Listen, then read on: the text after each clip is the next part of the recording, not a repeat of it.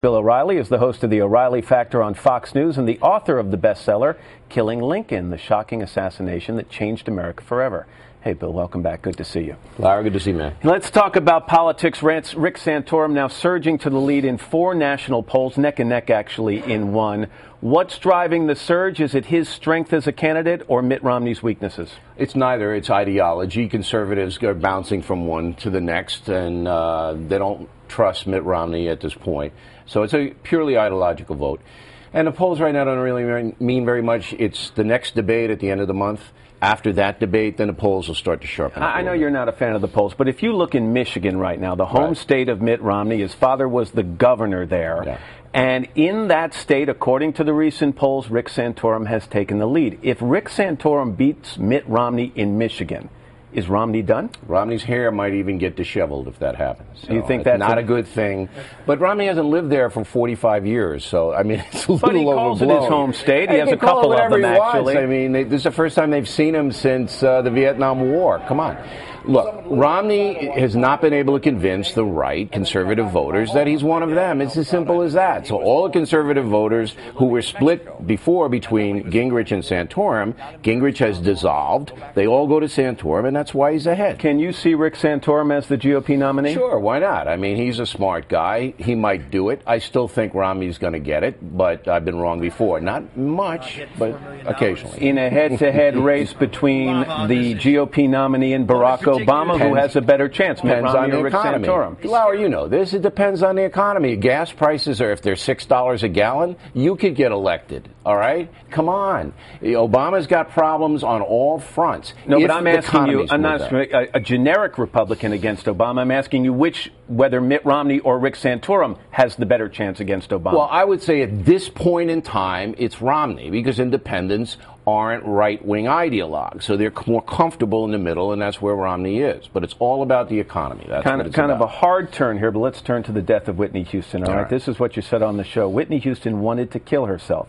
Nobody takes drugs for that long if they want to stay on the planet. The hard truth is that some people will always want to destroy themselves, and there's nothing society can do about it. That's right. You know that, that this has generated some controversy because people say, wait, addiction is a disease. Right, and if me, you are suffering from a disease, yeah. then you can't make the choice. You have no choice. Well, then they don't believe in free will, and I don't believe that anyone is a slave to addiction. I believe it is a disease. It's a mental disease, all right? But you have free will, and you can get through the disease, as millions of people have chosen to do. It's a lot of free will. You don't have free will when you get lung cancer. You do have free will when you're a crack addict.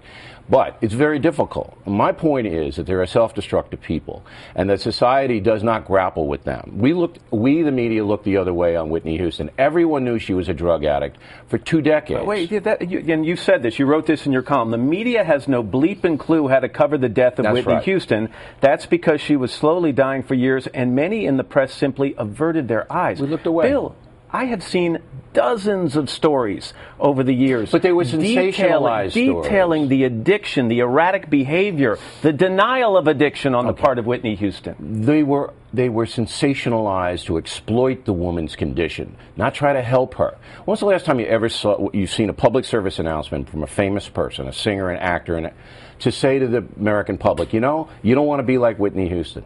Don't be like Elvis. Don't be like Janis Joplin. When was the last time you saw that? They don't exist. What, what, you know what we in the media do, Lauer? We wink wink it. We Snoop Dogg it. We Willie Nelson it. Hey, oh yeah, they're stoned. That's fine. And what message does that send? It's okay. I think it's, it's apples and oranges okay. that you're comparing. I think on the one hand, the media did detail her troubles and did they highlight it. But at the it. same time, I would agree that they also celebrated her talent and her stardom. Name me one media commentator outside of myself who said, "Hey, Whitney." You better knock it off, or you're going to be in the ground. But maybe one, they, give me one. Well, listen, maybe people don't come out and say it like you do because that's the style of your show. But by covering her behavior and detailing it. her actions over the years, in a way, that is shining no. a very bright light on it. If everybody in the show business community had said to Whitney Houston, "Hey," you're going to kill yourself. But that's different than journalists saying, Bill, are journalists supposed to be in the position of conducting interventions? They're supposed to be in the business of telling the truth. And the truth is, well, if you get into hard drugs, you can go any time. And by and that showing message her isn't behavior over the years, didn't we shine the light on no, that? No, because it wasn't put in any kind of a judgmental capacity at all. It was like a you think she was show. cast in a, in a in a positive light over these it last wasn't positive. It was, oh, look at this. Now she goes to rehab, and it wasn't, hey, Whitney, knock it off. It wasn't. It's never been that ever. Let's move and on. A, let's move on a little because you and I could argue for hours. But of course, um, and I'd always be right, no matter on, how long and it I was. know you would always think you're right. All on right. the subject of the flags. Flying at half staff in New Jersey on Saturday, the day she's laid to rest, Governor Christie has called for that. Is that the right idea? Yes. I think we should respect the life and talent of Whitney Houston. I said a prayer when I heard she died. This isn't a personal thing, this is a preventive thing. And I want society and the media to, to tell the truth about drug and alcohol addiction. It's hell, it's a horror. Let's stop exploiting it and start explaining it. Let's talk about your book, Killing Lincoln. No, okay? I don't want to do that. Oh, I know. I know. oh, gosh forbid. Um, 20 weeks on the bestsellers list, and you've got some other projects. Yeah, we're announcing Killing Kennedy. Will be uh, my next book comes out in October. It's in the uh, vein of Killing Lincoln, the same format, very quick. Um, this is what happened in the last uh, few months of John F. Kennedy's life, and we're filling in. We have stuff that's never been seen and heard before. Um, the president's life was chaotic, and there were a lot of similarities between Lincoln and Kennedy in the, in the uh, weeks and months before they both were assassinated. I have a feeling you'll have the same success with that that you have with this one. Thank you, Larry. I appreciate that, man. Good to see All you. right, good to see you. Always nice to right. have you here.